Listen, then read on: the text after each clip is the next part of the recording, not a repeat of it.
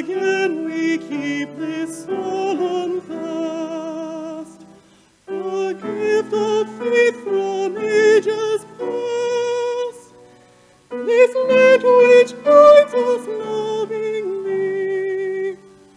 To faith and hope and charity.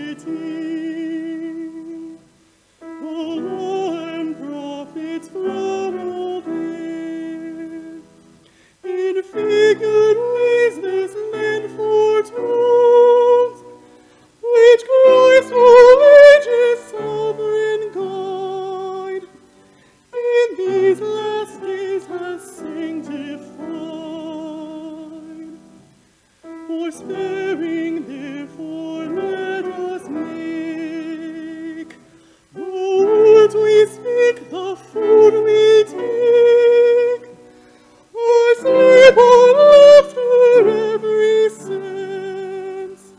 Learn peace through holy penitence. Let us avoid each harmful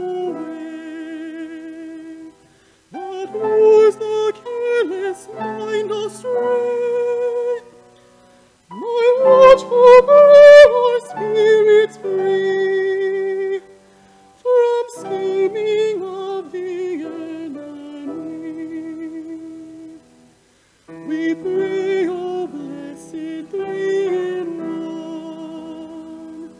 One, God while endless ages run, this of forty days